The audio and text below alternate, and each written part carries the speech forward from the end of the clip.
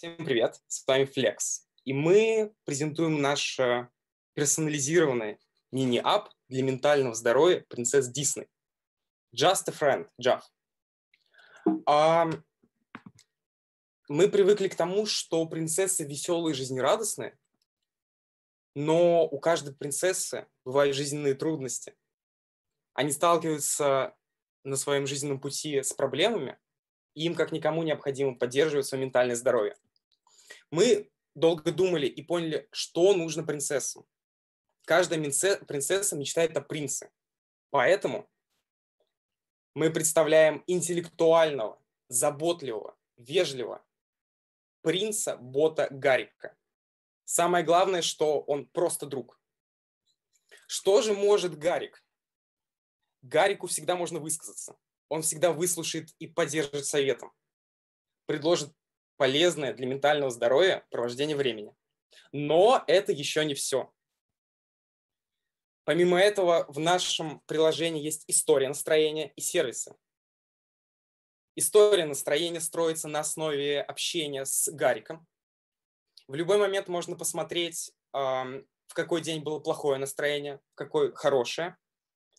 А, возможно, повторить то, что вы делали в день, когда было хорошее настроение, если вы хотите и различные сервисы. Все мы знаем, что любят принцессы Дисней. Они любят петь с птичками.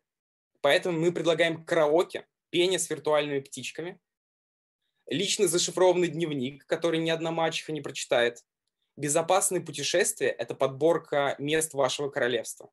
Ну и музыку по настроению, возможно, погулять, расслабиться или помедитировать.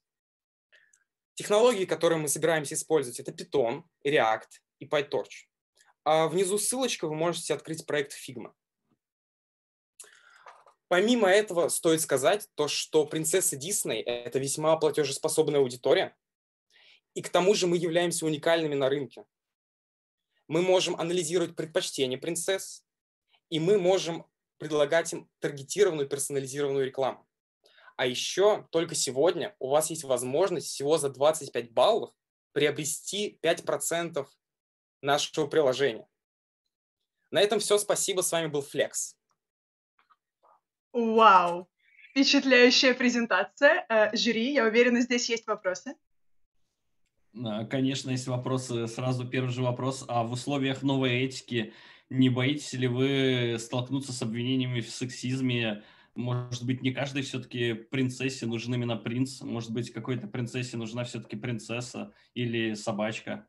Конечно, мы об этом подумали, и в дальнейшем у нас есть план развития нашего приложения. Во-первых, мы хотим переписать приложение с мини-ап а, на нативное, и там будет большое количество расширений, но они будут платные.